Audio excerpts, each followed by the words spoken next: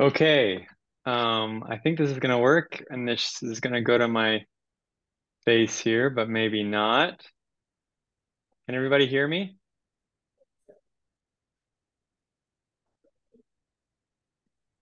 Carol, can everybody hear me? Are we good to go on the sound?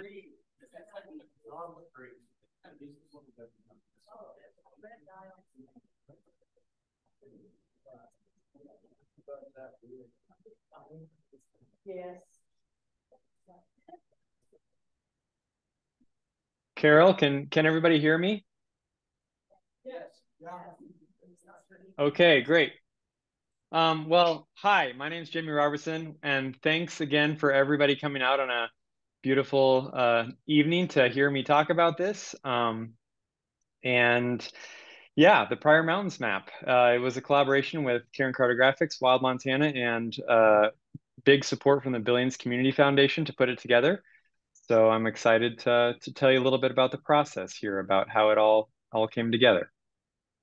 Um, I had never been to the Pryors before, before our fieldwork trip. Um, so I was blown away at the diversity and just how how beautiful it was there. Um, we had this beautiful October stretch of time last October to to do the work, um, and here's a shot of the fall foliage down in uh, down in the canyon.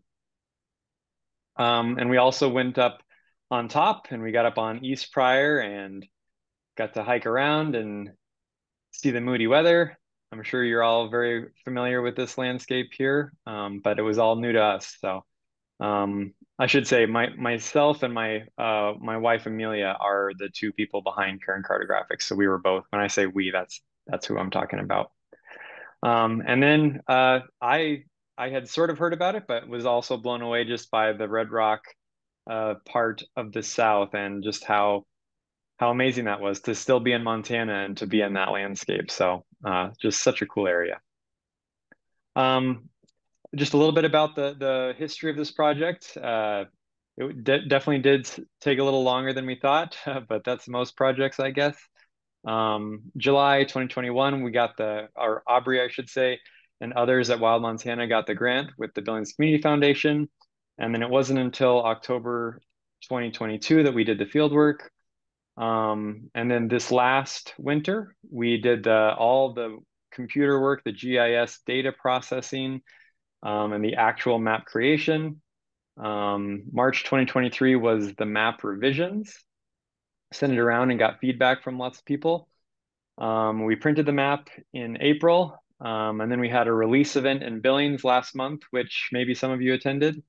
Um, we attempted to give this conversation, but it was a little bit of a a little bit of a noisy venue. So hopefully you can all hear me better than that event. Um, and just a special thanks to Aubrey, Ian, and Simon, and everybody else who wasn't named here, but uh, many hands to put this all together. So thanks a lot. All right, so I'm going to dive into our process. Um, so I hope you're ready to, to learn about how a map gets put together. Um, so we've been making maps at Cairn Cartographics since 2011. Um, most of our maps have been centered on kind of Western Montana and Idaho. So the Selway Bitterroot, the Bob Marshall, uh, the Rattlesnake, the Missions, that those areas over there is kind of where we've been. So this was certainly one of the more far-flung maps for us. Um, but yeah, it was it was neat to to explore a totally new area to us. So the first the first thing we do with any map, and this one wasn't in particular, wasn't any different, was to um, gather all the available data. So, you know, like like a lot of places we make maps of it, it's a patchwork of different agencies, different jurisdictions. So we have the Crow tribe lands to the north, we have the Custer Gallatin National Forest, we have the Park Service, and we have BLM, and across state lines. So it's this huge puzzle to put together all of these different agencies and different plans to come to a cohesive uh, map at the end. So we start with whatever we can get from the agencies, whether it's BLM, Forest Service, or otherwise. Um, and I'm sure many of you have seen these access maps before, uh, but this is where we started with those. Um, and the next thing we did is fieldwork. So last October, um, we went to the Pryors and hiked all the trails, that we could and got on as many of the roads as we could in our time available. Um, and did all the field work pretty quickly because it was a relatively small area. Um, but the we, we keep things pretty simple, pretty simple in the field. Um, we collect lots of geotagged photos with our phones with an app called Solocator. And that allows us to geotag photos and then see them in the computer in the GIS, which is our computer mapping component. Um, so tons of those. And then this little black box that you see right here is what we call a data logger. And it just records everywhere we go as a track.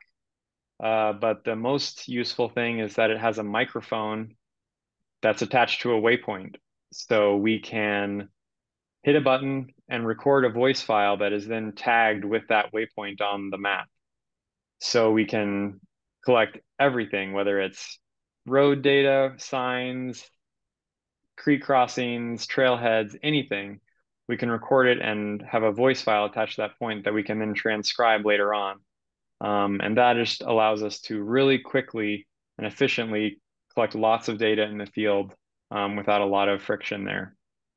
And then I would be remiss if I didn't uh, highlight the print atlases. I'm a I'm a print map lover, obviously, and we uh, swear by our benchmark atlases to help us navigate through different states and jurisdictions, and you know just cross all the borders. So we we we use those a lot.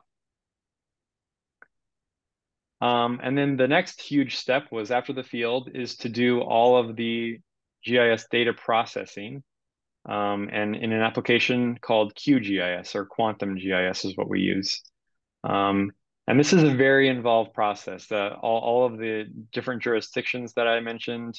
Um, in addition to that, we have different data sets from different agencies. So the USGS, um, provides our digital elevation model and our water data and everything else, which I'll touch on. But it's just this huge process of processing all the data from the photos and our field collection, along with the road data and trail data from from the different agencies that we we have to tie all together into a single data set. So this is always a very very time consuming process that we spend many days in the winter when it's blustery here in Missoula, toiling away to to pull this data all together. Um, and then after you've done that, you just hit Control P and you print the map on your printer, and then it's all done. Just kidding. Uh, that's not how it works. A lot of people think that that's how it works, but um, to to make a product that that we really want to stand behind um, is a really involved process with lots of different uh, design tools. So here's just a kind of a silly screenshot of a folder structure of our our files that went into this map. Um, just to sort of drive home the point, I guess, that there's just lots and lots of different pieces to this that go into the final product that we eventually send off to the press to be printed. So um, this this map was actually kind of interesting because it was a different uh, kind of a different size of uh, landscape that we'd never worked on before. So um, a lot of our maps are or, or I should say all of our maps up until now, have been of a pretty large area. So we have to find the right scale for the landscape that fits on the page that we can send to the press. So most of our maps are on a 28 inch by 40 inch sheet. So both front and back of that 28 by 40 inch sheet. And that's what you see on the on the right here. Um, so for example, the Bob Marshall was one to 80,000 scale at that full sheet for both halves of the Bob Marshall. Um, so if we were to do that same sheet size for the Pryors, we would have been able to do it probably at like one to 20,000 or something like that, which would have been would have been an interesting map to see the Pryors at that such such a, a large scale. But you know, ultimately just was a little bit too large of a scale. We didn't need quite one to 20,000 for the Pryors So what we did was we chose a scale that was reasonable. So 1 to 63, 360, which is exactly one inch to a mile. Um, and we fit that on half of one of our normal sheets. So instead of the full sheet, we just did it on a half front and back, and then fit uh, everything else that goes on on a map, which is the cover and the back cover and the text and the photos all have to kind of float alongside the landscape. Um, but we were able to do that on half of a sheet. So we we th we think it turned out pretty well. Um, it's a it's a smaller, lighter map, and it allows us to print two of them on one of the sheets. So this is hopefully going to give us flexibility to make more of these sort of half sheet maps in the future. So that was just kind of an interesting wrinkle to this project that we had to that we had to work with. Um, the next step is uh, what we call what you see on the map as shading, terrain shading. Um, it originally derives from what is called a DEM or digital elevation model. And what that is, is if you think of a if you think of a grainy picture on the internet that you can see all these kind of boxes, those are called pixels. And what we start with is a data set from the USGS that's published, and each pixel represents an elevation value in meters. So we take this huge grid across the landscape of all these pixels. Every pixel is 30 meters on the ground, and each one has a different value for an elevation value. And we take that, and from that grid of numbers in meters, we can then generate a shading, a hill shading, they call it. So when you look at the map and you see the shading that helps you interpret the terrain, uh, that's what we've done to take this data set and then draw essentially this shading that we then really work with in Photoshop to make it pleasant to look at and make it intuitive without being overwhelming. So um, we start with kind of this uh, data set, and then you see what this black and white shading that you see on, on the bottom here. Um, and then that same exact data set, so that same digital elevation model that is this grid of elevation values, we can then process in a different way to create the contour lines. So every elevation value pixel that is the same as another one, we say connect all of those pixels and make a line. And that line becomes all the contour lines that you see on the map. So in this case, we say connect all of the boxes at 100 foot intervals that are the same. So it's this kind of complicated math problem, but the software makes it very easy. And then we get these uh, contour lines that we can then put on top of the map on top of the shading. So you get the terrain shading and the contour lines from that same USGS data set. Uh, and the next the next uh, step is to then label those contours. So those lines that get output, uh, they come with what is called an attribute value. So there's a value attached to each line. And we can then draw labels with that value across the map. So we can say every three inches on the map, say draw a label that is the elevation value. So we can draw on the on the index contour lines, we can draw 5,500, 6,000, 7,000, and that's how we get all the contour labels that you see across the map is by uh, just automating that process and drawing those labels. Um, the next step is color. So we have a white shading with brown contour lines, and we want to help you interpret the landscape based on the uh, what the land cover is. So in the Pryors, it's very diverse, right? We have these red rock ecosystems in the in the south, forests um, on the north, and then kind of all the sage in between. So how do we show that? How do we show that coloration and make that intuitive? So what we do is we uh, start with lots of different products. We have NAIP imagery, so aerial photos taken from planes that are published, um, and also Landsat imagery, which is a satellite-based um, image that gets drawn.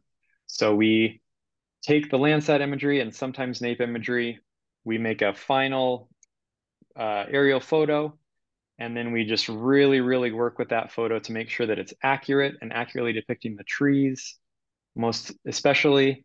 Um, and then we smooth it and color it and tweak it so that it's not overwhelming and blends well with the map. So you get what you see here, which is the, the terrain shading, and then the coloration from that image that we've worked with on top. And we multiply those together to make kind of a nice backdrop that you see on the map.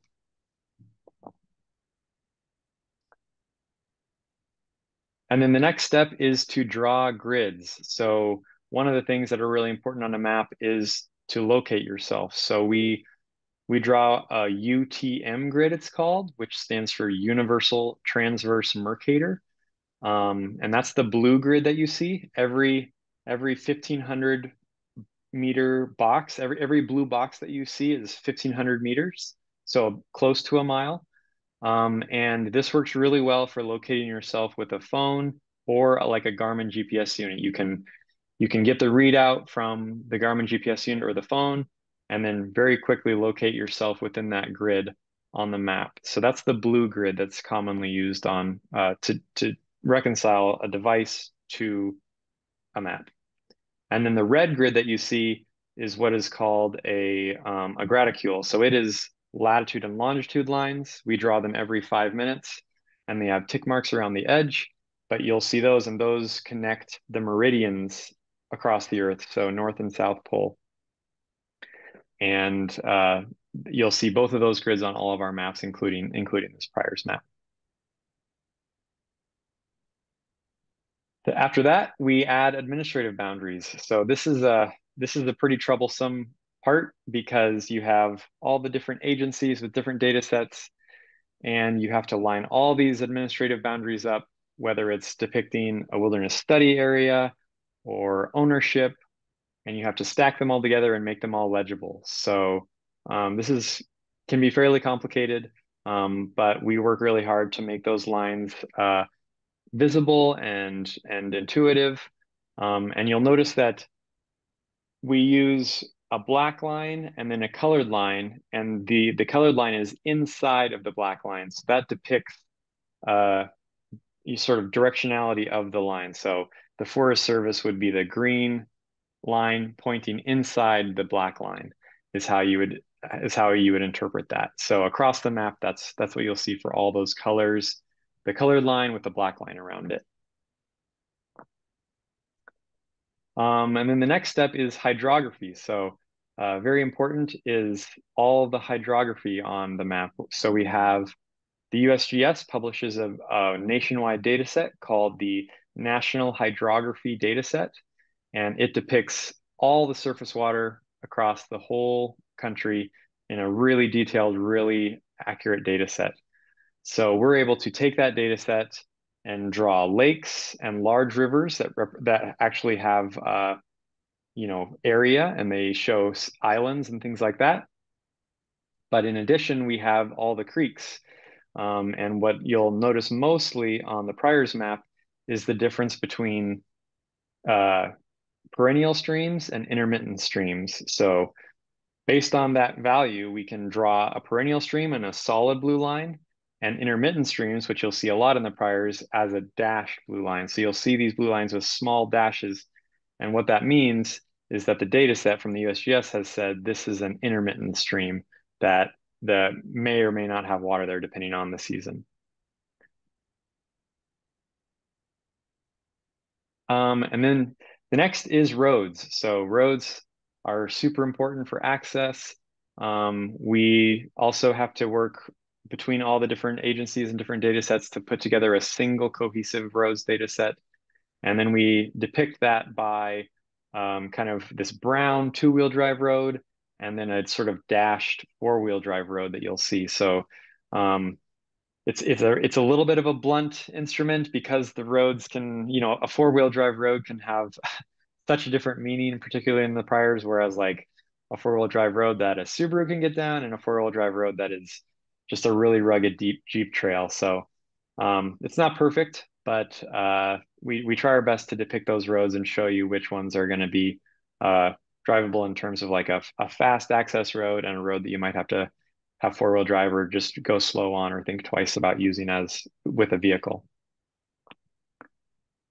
And then trails. So uh, there weren't that too many miles of trails in the Pryors um, compared to some of our other maps. Um, but as many of you know, I'm sure there's just tons of off-trail opportunities to explore the Pryors. It's great landscape just to head up a ridge and and walk around. But the trails that that that were um, there, we walked with our our GPS unit and made sure that we had as accurate as we could for those trails. Um, and then after we put the trails on there, we add annotation and trail mileage. So here's all of the labels and the mileages that we generate for each line segment. So we generate a, a 3D line segment, and then we can draw that label based on that value for each segment of a trail. So those are the red, those are the red uh, numbers that you'll see on the trail, in addition to, you know, road names and trailhead names and creek names and all the other annotation that we put on the map. So that's text is of course a huge part of the map. So that takes it takes a lot of time to make sure that labels don't intersect and they're accurate and they depict the area well. So we work a lot on the text. And then symbology is the last thing that we put on there. Um, we add kind of red dots between the trail mileages. We have trailhead symbols. Um, we have little points for all those spot elevations that we put on maps. Um, and those really, you know, those really drive a map, the symbology. So uh, we've we've used them for for years and years, and we've kind of just stuck to it.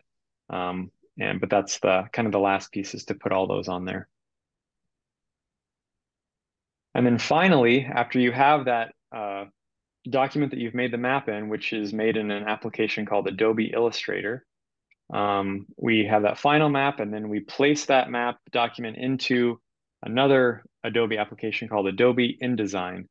And Adobe InDesign allows us to have the map and then all the other elements that we have to put together before we can print it. So the cover, the back cover, the legend, all the text that flows, the images are laid out in InDesign.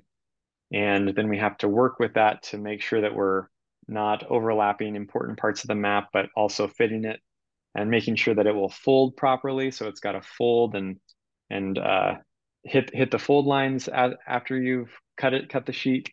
So there's a lot that goes into the layout in, instead of just um, it, it, it's it's complicated, I guess, uh, to make sure that everything's going to line up when you when you finally get the the, the map off the press. Um, and then after that's all done and we've gotten revisions and we're ready to go, we send our seal of approval and we actually just send uh, a PDF document. So the same, you know, format of document that you've all worked with as a, as a PDF document, we send the same thing to the press and they take that, um, they take that document and they split it into four what are called plates based on ink color. So we have four inks, right? We have cyan, magenta, yellow, and black and all four of those inks mix together to form what you see on the on the final map.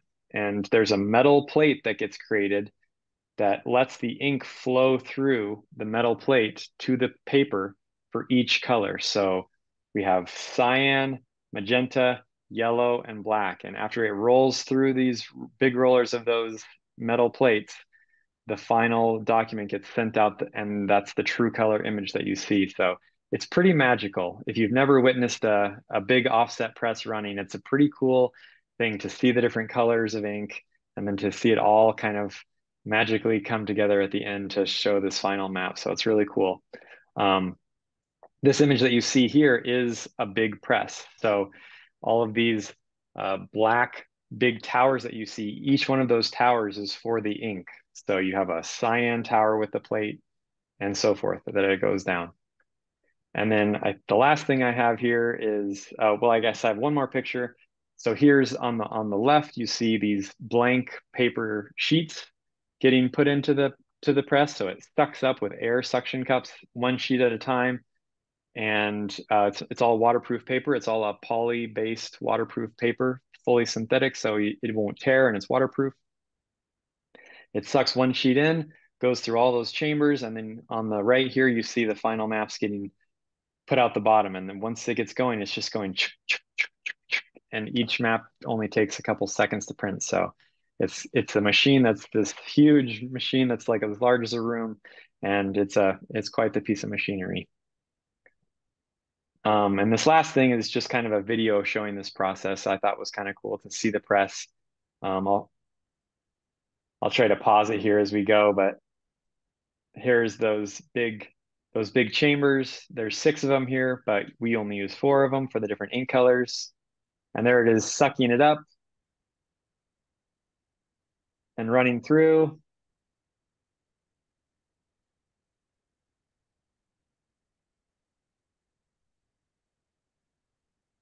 And then finally going out the going out the end on the other side.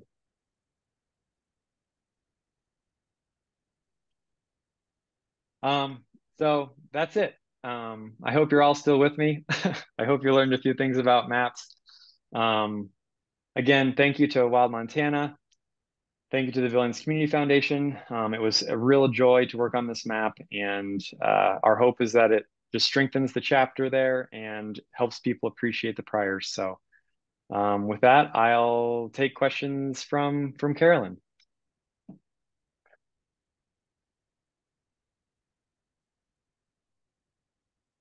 So Jamie, there's a, uh, a red a red curtain behind the screen, and they think that you're the man behind the curtain. So uh, I wonder if you want to stop sharing your screen and uh, uh, show them you, that that you exist.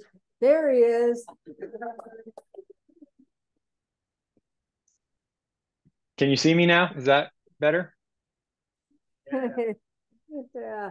So um, since we're on the speaker for the uh, uh, the computer, he probably can't hear uh, questions. So what, if you have questions, uh, I'll uh, repeat them uh, so that Jamie can hear. Yes, sir. Talk about the drying process. Must not take very long for the thing that quick. Okay, drying process, Jamie. Yeah, so if you if in that video you saw all the chambers that the map goes through, and then there was a big flat section and that's a that's a kind of speed high high temperature speed dryer that dries it just enough so that the ink won't stick to the map above it. Um, and they actually lay down this kind of fine powder on there that coats it so that the sheets don't just kind of meld together. Um, but even after they're all stacked together you wait a full 24 hours before you do anything else with them before you cut them before you um, trim them and fold them. Um, you wait so that the ink can here to that paper? Yeah, good question. Yes, Julie. Curious, um, after all the data collection, mapping, data analytics, do you feed this into other apps like Ultra, LDI, etc.? Okay. Question about uh, uh, other map or other apps uh, that that all this information gets fed into other other apps, and you can explain that uh, better than I can, Jamie. yeah. So you know, in in in 2023 there are, you know, there's probably 10 apps that I could name off for navigation. Um, in addition to you know this map, in addition to the agency maps, so the world is awash in data sets, and um, you know they all use different sources. So OpenStreetMap is the commonly used one, which is this global data set that many apps use. Some piece together things like we do um, from different agencies and different sources. Uh, but you know, since most of these data sets are public data sets, uh, most cartographers will start with the same process we did um, with the different, you know, USGS and Forest Service and BLM data sets or state data sets for ownership. Um, and then the, the difference is kind of how how you work with those, how much care you put in to either putting your own work on top of that or verifying that data. So um, that's what we work really hard on. But yeah, there's it's it's almost one of these things where it's hard to hard to know what data to trust because there's so much out there. So um, I hope that answers your question. Uh, we we we use the same as as most people in terms of those base data sets. Yes.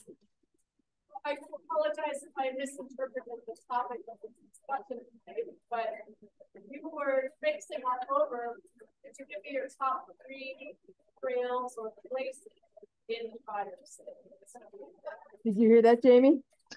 Yeah, top top places to go. Um, you know, I, I think that that the hike up to the ice cave was a really cool hike just to get a off of the you know to get a up on top really quickly that was a really cool hike. I would never, I wouldn't miss. Um, we actually took uh, gravel bikes to the northern end, and if you go to the northern part of the Pryors, there's actually quite a few roads that are really good for biking. Um, so that was really fun. And then uh, Bear Canyon in the south, which is uh, you know it's a it's an area with lots of trails um, administered by the BLM, and that's another spot that would be the third the third one that I would say shouldn't be missed. It's a really spectacular canyon, um, gets you into that wilderness study area, and just uh, super super beautiful. Any other questions? Sure. So first off, Jamie, nice translation of that naming process. Uh, the Custer Gals National Park has a lot of little closures of roads. It's hailing here, Jamie, so, uh, um, uh, it's, yeah. It- But gentleman's gonna come and, uh, speak right to it, cause, yeah, thank you. First off, nice job on the translation. Um, but the Custer Gallatin National Forest has a lot of trend, uh, seasonal road closures and that are identified on the travel management plan. Did you attempt to even incorporate those or what? What was your thoughts on trying to incorporate all those various closures? Because every road has a different closure date. Right. Yeah, the, the seasonal road closures, um, you know, that's always a tricky subject, and we take the same approach as the Forest Service on that. So on our map, we say always check the MVUM for current road closures. And the Forest Service does the same thing with their visitor map. So they publish their visitor map, but they say check the MVUM for those closures. So we do the same thing. Anybody else? Yes. What's the MVUM? MVUM is, Uh, yeah, motor vehicle use map. So the Forest Service publishes those for for all the districts areas, and that's the that's the authoritative source for those road closures to know when gates open and uh, when when they can be accessed. any other questions?